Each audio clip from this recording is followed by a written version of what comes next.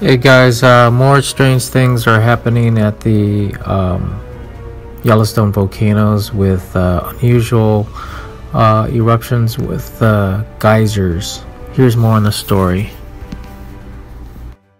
Strange unusual behavior happening in Yellowstone volcano. Reports claim a dramatic change after an eruption in the upper Geyser basin spewed scorching water 30 featuring into the sky. Yellowstone Park authorities have noticed a flux of unusual behavior in the world famous geyser hotspot, including a full-blown eruption. A typically docile hot cool dubbed Ear Spring blasted jets of water on Saturday, the 15th of September. The geyser erupted with hot water for the first time in 14 years, spewing fountains between 20 feet and 30 ft high. On Monday, the 24th of September, United States Geological Survey, USGS, experts said the hot pool is still boiling over with individual bursts of hot water 2 feet high. Around the time of eruption, Parts of the Yellowstone Volcano Park were closed off to tourists after a brand new thermal feature sprouted out from the ground. The new feature appeared beneath a tourist boardwalk when a bubbling crack fractured the ground.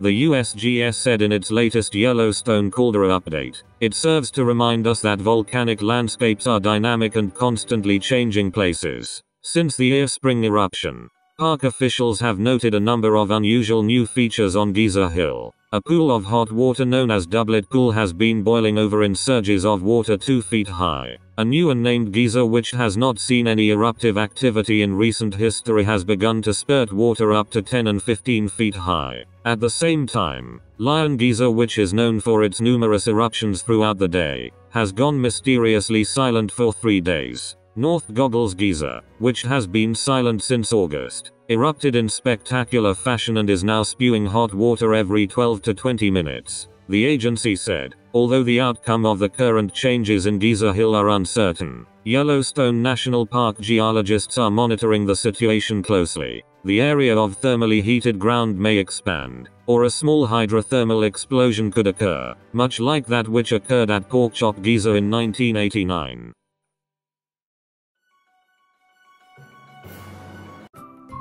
Thank you for watching. Please subscribe to us on YouTube. If you like donate to us visit home on the page PayPal.